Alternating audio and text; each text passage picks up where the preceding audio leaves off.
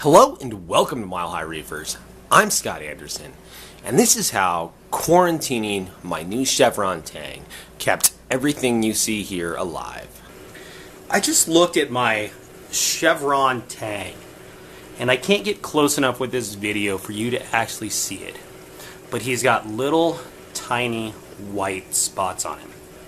And that is ick. And that is why I am so paranoid about quarantining my tank.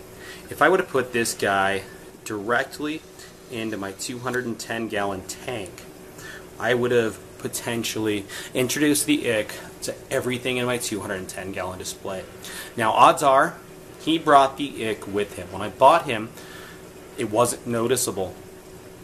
When he went into this quarantine tank, it hasn't been noticeable for almost two weeks now. But here he is, two weeks in, with little white spots. So he obviously had a little bit on his body when I brought it in. And here we are. It's time to dose copper medication. I dosed the copper medication like it said on the Cupramine bottle. I went to work, worked all night, and when I got home, my Chevron Tang was dead on the bottom right of this tank. So this really sucks. My $150 Chevron Tang that I've been wanting for years has passed on. Now the good news is I followed the quarantine process. He went into quarantine. When he was in quarantine, he got ick.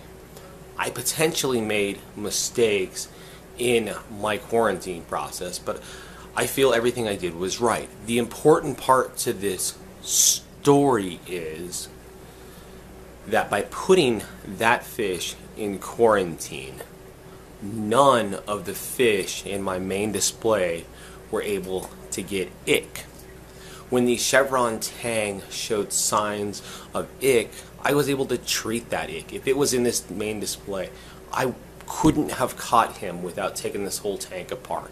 At that point, this entire tank would have been contaminated with ick. Rinkins could have got it. My purple tang could have got it. My 10 year old clownfish could have got it. All of my fish could have got it.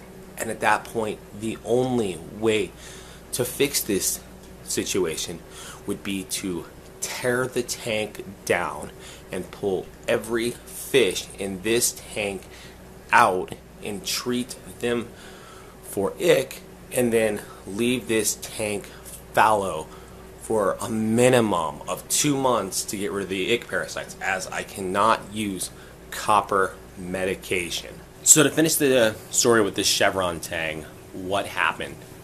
Well, I don't dose copper medication when the fish goes into the tank at first.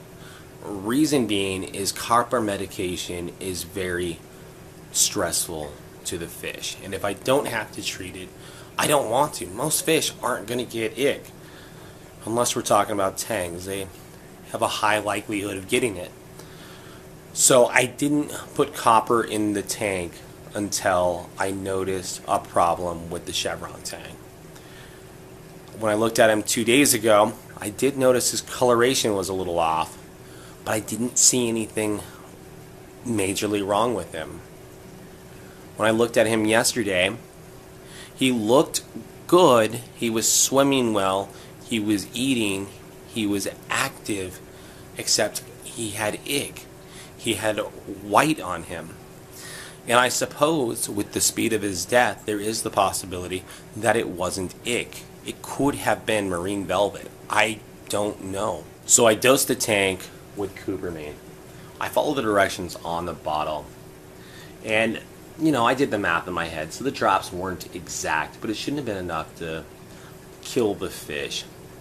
So it calls for 16 drops for 10 and a half gallons. And I figure out that's going to be 45 ish drops in this 29 gallon tank. It's actually a little on the high side, but that's okay. And you'll notice when you drop these, you'll never get it exactly right. Anyways, And then in 48 hours, it was calling for me to put another dose into the tank. If you guys have ever watched LA Fish Guy, he's one of the reef gurus as far as I'm concerned, as he's been doing this so long and has pretty well dealt with every situation that's come up. He says to dose in half dose increments. One thing I could have done was to half the initial dose and potentially weaned the Chevron Tang on to the copper medication a little more slowly.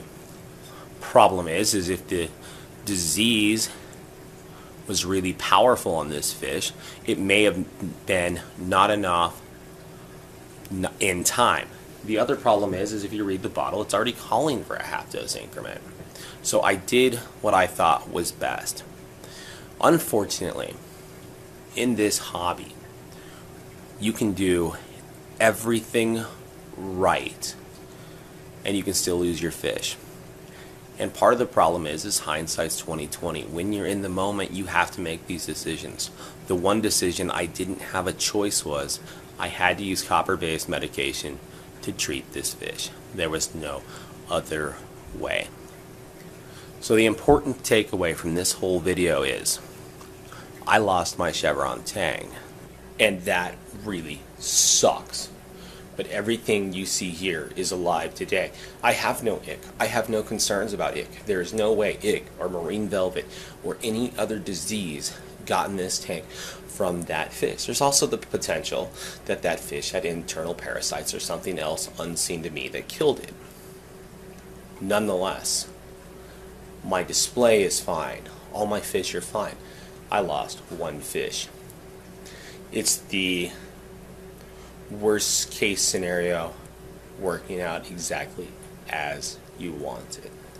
So thank you for watching this episode of Mile High Reefers. I'm Scott Anderson. Feel free to like, even though it's a bad scenario.